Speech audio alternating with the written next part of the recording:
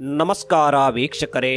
ಇದೇ ವರ್ಷ ಆಸ್ಟ್ರೇಲಿಯಾದಲ್ಲಿ ನಡೆಯಲಿರುವ ಐಸಿಸಿ ಟಿ ಟ್ವೆಂಟಿ ವರ್ಲ್ಡ್ ಕಪ್ಗೆ ಭಾರತ ತಂಡದ ಆಯ್ಕೆ ಕುರಿತು ಚರ್ಚೆ ಜೋರಾಗಿದೆ. ಹಲವು ಕ್ರಿಕೆಟ್ ಪಂಡಿತರು, ಮಾಜಿ ಆಟಗಾರರು ತಮ್ಮ ನೆಚ್ಚಿನ ಆಯ್ಕೆಯನ್ನ ಇದೀಗಲೇ ತಿಳಿಸಿದ್ದಾರೆ. ಆದರೆ ಯಾರು ಟೀಂ ಇಂಡಿಯಾದಲ್ಲಿ ಸ್ಥಾನ ಪಡೆದುಕೊಳ್ಳುತ್ತಾರೆ ಅನ್ನೋದು ಇದೀಗ ಕುತೂಹಲ ಮೂಡಿಸಿದೆ. ಇದೀಗ ಭಾರತ ತಂಡದ ಮಾಜಿ ವೇಗದ ಬೌಲರ್ ಆಶೀಶ್ ನೇರ, ಅನುಭವಿ ವೇಗಿಯೊಬ್ಬರು ಈ ಬಾರಿಯ ಟಿ ಟ್ವೆಂಟಿ ವರ್ಲ್ಡ್ ಕಪ್ನಲ್ಲಿ ಸ್ಥಾನ ಪಡೆದುಕೊಳ್ಳುವುದಿಲ್ಲ ಎನ್ನುವ ಹೇಳಿಕೆಯನ್ನ ನೀಡಿದ್ದಾರೆ. ಅಷ್ಟಕ್ಕೂ ಆ ಬೌಲರ್ ಯಾರು? ನೆಹರಾ ಏನು ಹೇಳಿದ್ದಾರೆ ಅನ್ನೋದ್ರ ಬಗ್ಗೆ ನಾವಿದೀಗ ಕಂಪ್ಲೀಟ್ ಆಗಿ ಮಾಹಿತಿ ನೀಡ್ತೀವಿ. ಅದಕ್ಕೂ ಮುಂಚೆ ನೀವಿನ್ನು ನಮ್ಮ ಚಾನಲ್ಗೆ ಸಬ್ಸ್ಕ್ರೈಬ್ ಆಗಿಲ್ಲ ಅಂದ್ರೆ ದಯವಿಟ್ಟು ಸಬ್ಸ್ಕ್ರೈಬ್ ಆಗಿ ಪಕ್ಕದಲ್ಲಿರುವ ಬೆಲ್ ಬಟನ್ ಅನ್ನ ಒತ್ತಿ.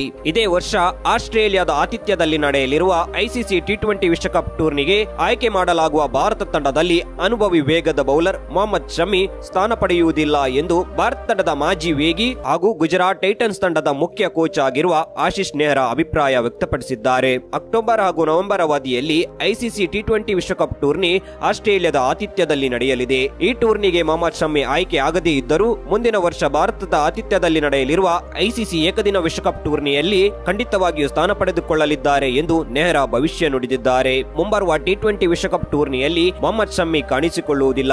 ಆದರೆ ಅವರ ಸಾಮರ್ಥ್ಯ ಏನೆಂಬುದು ನಮಗೆಲ್ಲರಿಗೂ ಚೆನ್ನಾಗಿ ತಿಳಿದಿದೆ. ಈ ವರ್ಷ ಅವರು ವಿಶ್ವಕಪ್ ಆಡದೇ ಇದ್ದರೂ ಮುಂದಿನ ವರ್ಷ ಭಾರತದ ಆತಿಥ್ಯದಲ್ಲಿ ನಡೆಯಲಿರುವ ಏಕದಿನ ವಿಶ್ವಕಪ್ ಟೂರ್ನಿಯಲ್ಲಿ ಖಂಡಿತವಾಗಿಯೂ ಆಡಲಿದ್ದಾರೆ. ಎಂದು ನೇರ ತಿಳಿಸಿದ್ದಾರೆ. ಈ ವರ್ಷ ಹೆಚ್ಚು ಏಕದಿನ ಪಂದ್ಯಗಳು ಇಲ್ಲ. ಜೊತೆಗೆ ಶಮಿ ವಿಶ್ರಾಂತಿಯಲ್ಲಿದ್ದಾರೆ. ಇಂಗ್ಲೆಂಡ್ನಲ್ಲಿ ಒಂದು ಟೆಸ್ಟ್ ಪಂದ್ಯದ ಬಳಿಕ ನಡೆಯಲಿರುವ ಮೂರು ಪಂದ್ಯಗಳ ಏಕದಿನ ಕ್ರಿಕೆಟ್ ಸರಣಿಯಲ್ಲಿ ಭಾರತ ತಂಡ ಮೊಹಮ್ಮದ್ ಶಮಿ ಅವರನ್ನು ಆಡಿಸಬಹುದು ಎಂದು ನಲವತ್ಮೂರು ವರ್ಷದ ಮಾಜಿ ಕ್ರಿಕೆಟಿಗ ಅಭಿಪ್ರಾಯಪಟ್ಟಿದ್ದಾರೆ. ವೈಟ್ ಬಾಲ್ ಕ್ರಿಕೆಟ್ನಲ್ಲಿ ಶ್ರೇಷ್ಠ ಆಟವಾಡುತ್ತಿರುವ ಇಂಗ್ಲೆಂಡ್ ಎದುರು ಮೂರು ಗುಣಮಟ್ಟದ ಕ್ರಿಕೆಟ್ಗಳನ್ನು ಆಡುವ ಅವಕಾಶ ಶಮ್ಮಿಗೆ ಸಿಗಲಿದೆ. ಈ ಸರಣಿಯಲ್ಲಿ ಭಾರತ ತಂಡ ಗೆಲುವನ್ನ ಎದುರು ನೋಡುತ್ತಿದೆ. ಹೀಗಾಗಿ ನಾನು ಆಡುವ ಹನ್ನೊಂದರ ಬಳಗದಲ್ಲಿ ಅತ್ಯುತ್ತಮ ವೇಗಗಳನ್ನು ಹೊಂದಲು ಬಯಸುತ್ತೇನೆ. ಇದರಲ್ಲಿ ಶಮ್ಮಿ ಕೂಡ ಒಬ್ಬರಾಗಿರಲಿದ್ದಾರೆ ಎಂಬುದು ನನ್ನ ಅನಿಸಿಕೆ ಎಂದು ನೆಹ್ರಾ ತಿಳಿಸಿದ್ದಾರೆ. ಪ್ರಿಯ ವೀಕ್ಷಕರೇ, ಮುಂಬರುವ ಟಿ ಟ್ವೆಂಟಿ ವರ್ಲ್ಡ್ ಕಪ್ನಲ್ಲಿ ಮೊಹಮ್ಮದ್ ಶಮ್ಮಿ ಅವರಿಗೆ ಸ್ಥಾನ ನೀಡಬೇಕೆ ಅನ್ನೋದರ ಕುರಿತು ನಿಮ್ಮ ಅಭಿಪ್ರಾಯ ಏನು ಅನ್ನೋದನ್ನ ಕಮೆಂಟ್ ಮಾಡಿ.